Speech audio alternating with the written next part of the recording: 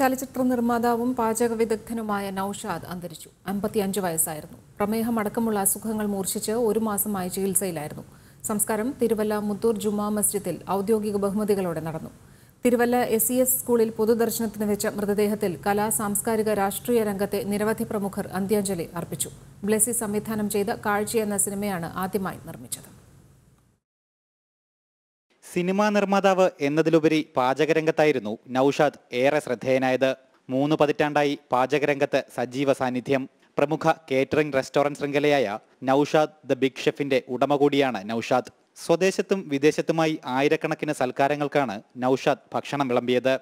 College വിദ്യാഭ്യാസത്തിന് ശേഷം hotel management പഠിച്ച നൌഷാദ് കേറ്ററിംഗ് ബിസിനസ്സിൽ പുതിയ സാധ്യതകൾ കണ്ടെത്തുകയും വികസിപ്പിക്കുകയും ചെയ്തു. നിരവധി ടെലിവിഷൻ ചാനലുകളിൽ പാചക പരിപാടികളിലൂടെ അവതാരകനായും ശ്രദ്ധ നേടി. ചെറുപ്പം മുതൽ സിനിമകളോടുള്ള താല്പര്യം സുഹൃത്തായ ബ്ലസിയിലൂടെ നൌഷാദിനെ ചലച്ചിത്ര രംഗത്തേക്കും കൈപിടിച്ചു കയറ്റി.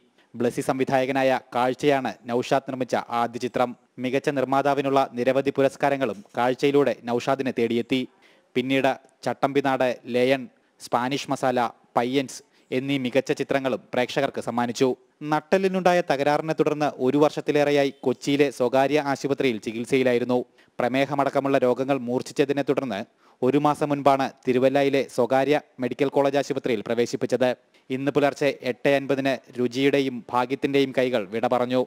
രണ്ടാഴ്ച മുൻപാണ് ഹൃദയാഘാതത്തെ തുടർന്ന് ഭാര്യ ഷീബ മരണപ്പെടുന്നത്. അധികം വൈകാതെ തന്നെ പ്രിയതമയുടെ അടുത്തേക്ക് നൌഷാദും യാത്രയായി. ജനം പത്തനംതിട്ട.